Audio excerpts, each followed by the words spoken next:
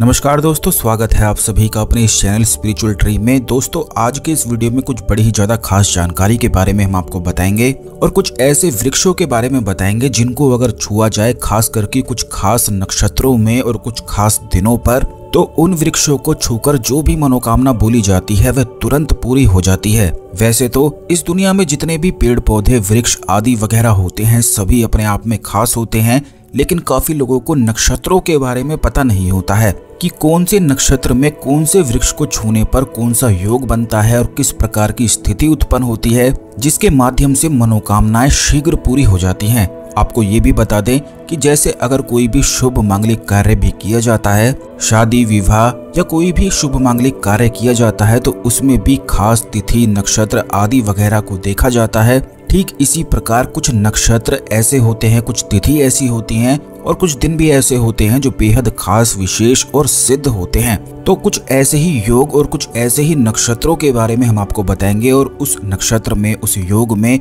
कुछ वृक्षों को छूकर आप अपनी बहुत सारी मनोकामनाओं को पूर्ण करवा सकते हैं तो इस जानकारी को ध्यान से सुनते रहें। सबसे पहले तो वीडियो को लाइक करके कमेंट बॉक्स में ओम नमः शिवाय हर हर महादेव अवश्य ही लिखते हैं, जिससे भगवान शिव की कृपा पर हमेशा बनी रहे। इस दुनिया में जितने भी लोग होते हैं, वह सभी केवल यही चाहते हैं कि उनके जीवन में धन की जो समस्याएँ चल रही हैं और जिसके कारण उन्हें घर चलाने में और बाकी चीज़ें करने में दिक्कत पड़ती है तो ऐसे में उनकी धन की परेशानी दूर हो जाए। हर कोई केवल यही चाहता है कि उसके जीवन में कभी भी उसे धन की परेशानी का सामना ना करना पड़े। तो दोस्तों, आपको बता दें कि अगर शिव योग में इस जानकारी को बिल्कुल ध्यान से सुनते रहें और एक भी पॉइंट को बिल्कुल भी मिस ना करें, क्योंकि अगर एक भी पॉइंट को आप मिस कर देते हैं और कुछ खास बातों को नहीं कर पाते हैं तो फिर इस प्रयोग का कोई भी लाभ नहीं मिल पाता है, क्योंकि महत्वपूर्ण चीज़ें और स्टेप अगर आप छोड़ देते हैं तो फिर प्रयोग का कोई भी लाभ नहीं हो पाता है, इसीलिए जानकारी को बिल्कुल ध्यान से सुनते रहें। अगर शिव योग में बरगद वृक्ष की जड़ को छूते हुए संजीवनी मंत्र का 108 बार जाप करके कोई भी मनोकामना को बोला जाता है तो इससे शीघ्र, अति शीघ्र वह मनोकामना तुरंत पूरी होने के लिए शुरू हो जाती है। जैसे कि अगर आप चाहते हैं कि आपके जीवन में धन की समस्याएँ दूर हो जाएँ तो इस प्रकार आपको नहीं बोलना है कि धन की समस्याएँ दूर हो जाएँ, बल्कि इस प्रकार आपको बोलना है कि जिस चीज़ में आप काम करते हैं वहाँ मुझे प्रमोशन मिल जाए या जिन लोगों को नौकरी की प्राप्ति नहीं हो पाती है तो ऐसे नहीं बोलना है कि धन की प्राप्ति हो जाए। तो जिस भी चीज़ में आप कार्य करते हैं और आपको पता है कि वहीं से आपको धन आ सकता है तो उसी चीज़ को सही करने के लिए आपको मनोकामना बोलनी है। इस प्रकार अगर शिव योग में बरगद वृक्ष की जड़ पर कच्चे दूध में केसर डालकर अगर धारा बहाई जाए और फिर उस जड़ को पकड़कर संजीवनी मंत्र यानी के ओम, ह्रोम, जूम, साह, नमः शिवाय इस मंत्र का 108 बार जाप करने के पश्चात अगर कोई भी मनोकामना बोल दी जाती है तो वह शीघ्र, अति शीघ्र पूरी होती है। अब आपको बता दें कि शिव योग जो होता है, इस बार वह नए साल पर ही बन रहा है। नए साल के पहले दिन ही बन रहा है, लेकिन ये ब्रह्म मुहूर्त में बन रहा है, यानी कि सुबह बन रहा है। तो अगर आप सुबह उठ सकते हैं तो बहुत ही ज़्यादा अच्छा है नए साल के पहले दिन इस प्रयोग को अवश्य ही करके आए। जो आपके घर के आसपास बरगद वृक्ष है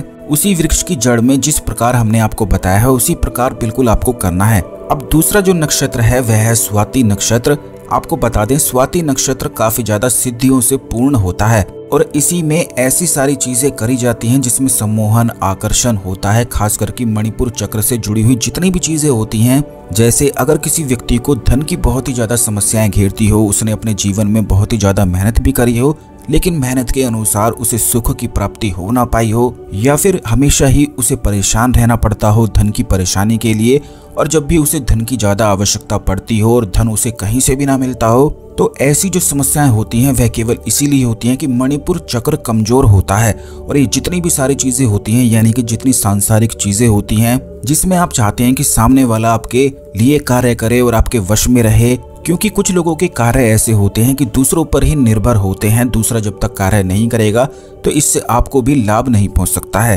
तो कुछ लोगों के, बल्कि बहुत सारे लोगों के ऐसे ही कार्य होते हैं तो इस प्रकार की जितनी भी चीज़ें होती हैं उनके लिए स्वाति नक्षत्र काफ़ी ज़्यादा महत्वपूर्ण होता है। आपको बता दें कि ये जितने भी योग या नक्षत्र हम बता रहे हैं, ये हर एक महीने में निश्चित ही आते हैं। तो किसी भी महीने में आप उस कैलेंडर में देख सकते हैं, जिसमें संपूर्ण जानकारी होती है, तिथि होती है, नक्षत्र आदि वगैरह भी होते हैं। तो उसी कैलेंडर में आप ये भी देख सकते हैं कि नक्षत्र या योग उस दिन कौन सा है? तो इस प्रकार नक्षत्र को देखकर स्वाति नक्षत्र हर एक महीने में आता है। तो अगर स्वाति नक्षत्र में अश्वगंधा के पौधे की जड़ को निकालकर अगर इसे किसी भी व्यक्ति को चांदी के ताबीज में भरकर पहना दिया जाए तो इससे उस व्यक्ति की कभी भी हार नहीं होती है। जितनी भी चीज़ें वह करता है या आगे बढ़ना चाहता है या अपने जीवन में जो भी कामयाबी, सफलता वह पाना चाहता है, वह निश्चित ही उसकी पूरी होती है। लेकिन आपको बता दें कि स्वाति नक्षत्र में अश्वगंधा के पौधे की जड़ को निकालकर इस जड़ को अगर महाकाली मंत्र से एक लाख मंत्रों से जाप करके अगर इस जड़ को सिद्ध कर दिया जाए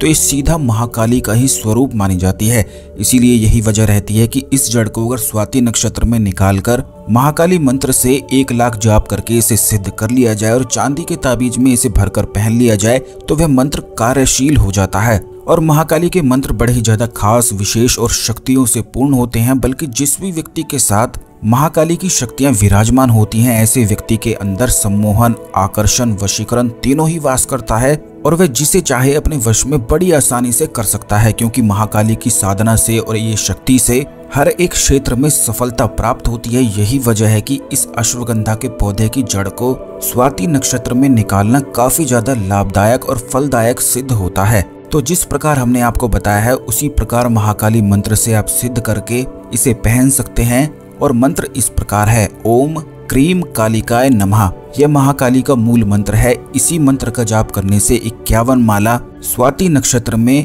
अश्वगंधा के पौधे की जड़ को सिद्ध करके अगर कोई व्यक्ति चांदी के ताबीज में भरकर इसे पहन ले तो इससे काफ़ी ज़्यादा शक्तियों की और सफलताओं की प्राप्ति तो उसे हो ही जाती है, बल्कि धन की भी कभी भी उसके जीवन में समस्याएँ नहीं हो सकती हैं। अगर कोई व्यक्ति कर्ज की समस्या में बहुत ज़्यादा पीड़ित रहता हो और कर्ज के वजह से उसके जीवन में बहुत ही ज़्यादा उथल पुथल या परेशानी बढ़ गई हो तो ऐसा व्यक्ति इस प्रयोग को करके अगर अश्वगंधा के पौधे की जड़ को पहन ले तो इससे उसके कर्ज समाप्ति के पूरे पूरे योग मात्र छह महीने में ही बन जाते हैं। और वह हर प्रकार के कर्ज से मुक्ति प्राप्त कर सकता है। तो इस प्रकार जैसे हमने आपको बताया है, इसी प्रकार आप भी कर सकते हैं। या हमसे भी हमारे संस्थान से इसे मंगवा सकते हैं। व्हाट्सएप नंबर स्क्रीन पर दिया गया है। ठीक इसी प्रकार पुष्य नक्षत्र भी होता है। अगर पुष्य नक्षत्र में पीपल वृक्ष की जड़ को निकालकर घर के पूर्व कोने में अगर इसे दबा दिया जाए, यानी कि पूर्व दिशा में, जो घर का पूर्व कोना है, पूर्व वाली दीवार है, अगर उसी से सटाकर पीपल वृक्ष की जड़ को दबा दिया जाए तो इससे तुरंत पितृ बंधन खुल जाता है। काफ़ी लोगों के जीवन में पितृ बंधन होता है। पितरों की समस्याएँ होती हैं, पितृ प्रसन्न नहीं होते हैं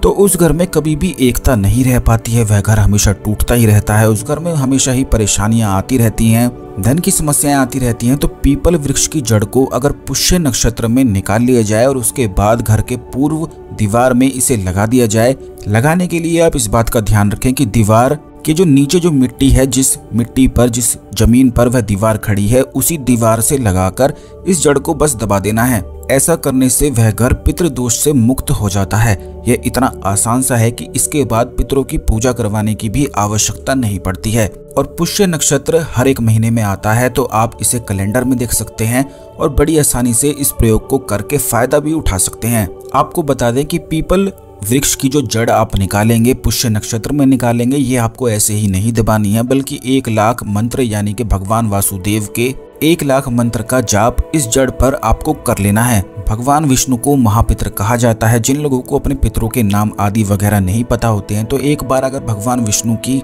इस प्रकार पूजा कर दी जाए तो इससे संपूर्ण पितृदोष समाप्त हो जाते हैं। पीपल वृक्ष की जड़ पर एक लाख इस मंत्र का जाप करने के पश्चात पूर्व दिशा में इस जड़ को दबा देने मात्र से वह घर बिल्कुल पितृदोष से मुक्त हो जाता है। बाकी बहुत सारे वृक्षों के बारे में आने वाले वीडियोस में हम निश्चित ही बताएँगे, इसलिए चैनल को अवश्य सब्सक्राइब करके बेल बटन अवश्य दबा कर रखें, जिससे जब भी वीडियो आती है तो आपको समय पर मिला करे। इस जानकारी को दूसरे लोगों के साथ भी अवश्य शेयर कर दें, जिससे सभी लोग इस जानकारी का लाभ उठा सकें और अपने जीवन में आगे बढ़ सकें। धन्यवाद। ओम नमः शिवाय। हर हर महादेव।